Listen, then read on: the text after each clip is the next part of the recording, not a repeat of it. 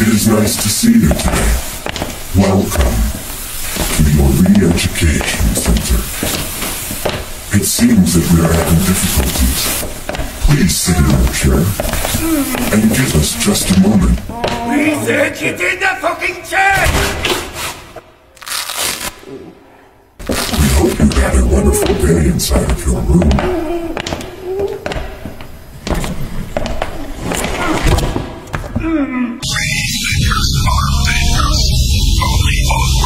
This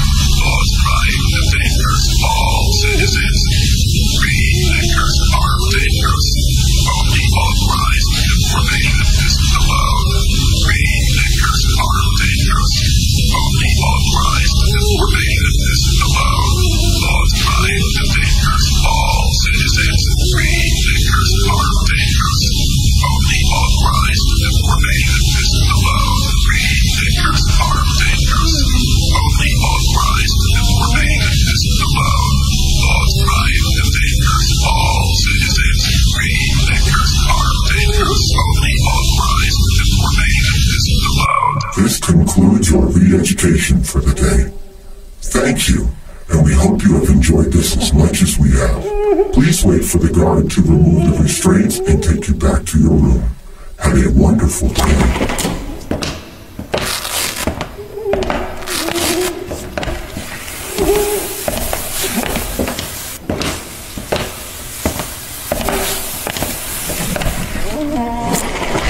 Do you have any people paid by CIA who are working for television networks? This, I think, gets into the kind of uh, getting into the details, Mr. Chairman, that I'd like to get into in executive session.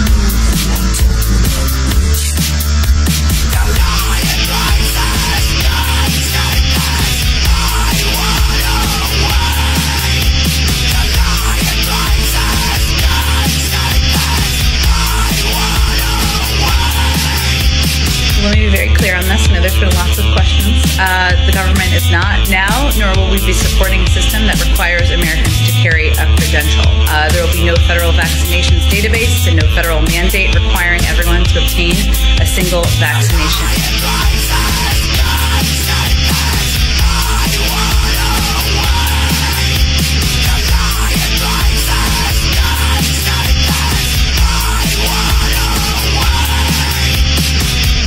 cover a range of topics of mutual interest, everything from COVID 19 and uh, our efforts to address the global pandemic.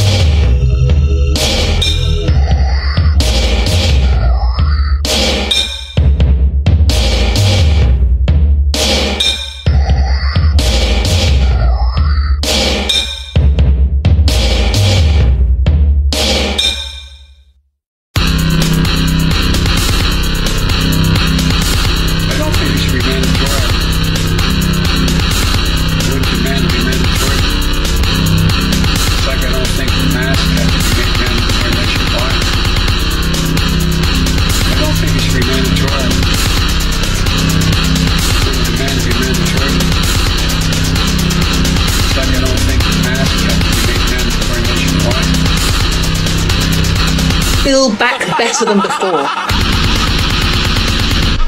Useless!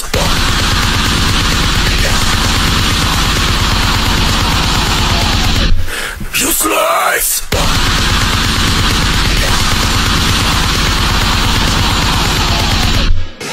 Build it back better. These pandemic politics are, are, make, are making people sick. This is a pandemic of the unvaccinated. This is not about freedom, personal choice. So, time for waiting is over. Vaccinate your workforce. But our patience is wearing thin. Useless!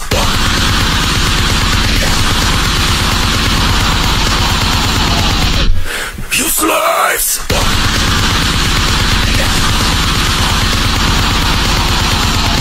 No federal vaccinations database and no federal mandate requiring everyone to obtain a single vaccination credential.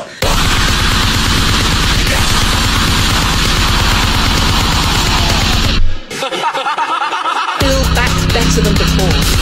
Build it back better. My plan to build back better. all the problems have been treated in education and mental health and start to, to build back. say to build back, back better, we would say to really have a great, great reset. Useless! Please welcome the President of the United States. Too much of what's happening in our country today is not normal. Donald Trump and the MAGA Republicans represent an extremism that threatens the very foundation of our republic. MAGA Republicans do not respect the Constitution.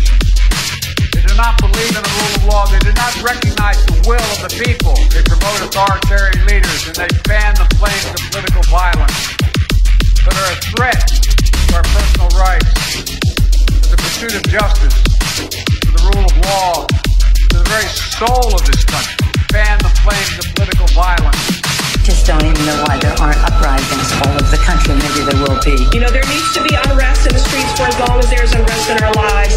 Enemies of the state. Show me where it says that protests are supposed to be polite and peaceful.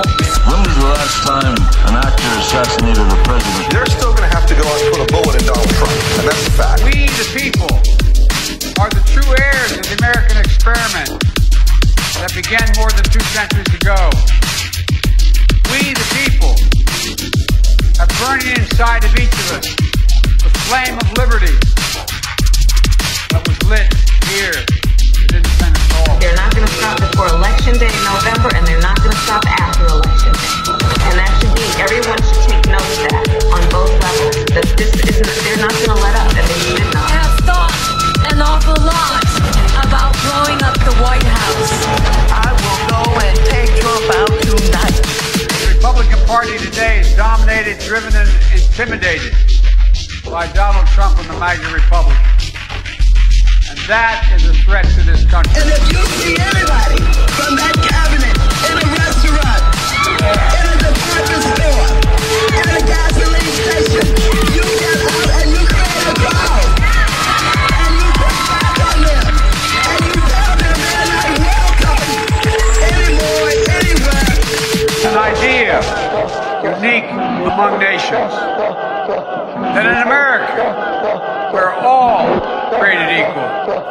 A voter is just trying to figure out, as I said, how to take care of the family, put three squares on the table, stay safe, be able to pay their mortgage or their rent.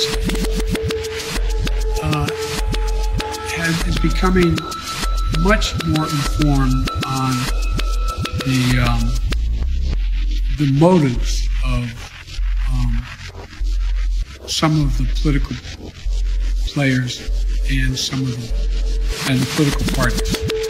And I think that they are not going to be as susceptible to believing some of the outlandish things that have been said and continue to be said. Because this is about the, the um, our communities which have historically been divested. One that I'm actively engaged in, in advocacy for, is the reduction of really truly talking about um, the reduction of our NYPD budget and defunding a $6 billion NYPD budget. This model of saying, You know, in, in many cities in America, over one third of their city budget goes to police. So we have to have this conversation. What are we doing? The last thing you need is an up-armored Humvee coming into a neighborhood. It's like the military invading. They don't know anybody. They become the enemy. They're supposed to be protecting these people. So my generic point is But that can we agree that we can redirect some of the funding? yes, uh, absolutely. not only do we need to defund, but we need to dismantle and start anew, allows us to really reimagine what public safety should look like in our community. A national lockdown, stay-at-home orders is like house arrest. It's, the, it's, the, it's, you know, other than slavery, which was a different kind of restraint, this is the greatest intrusion on civil liberties in American history.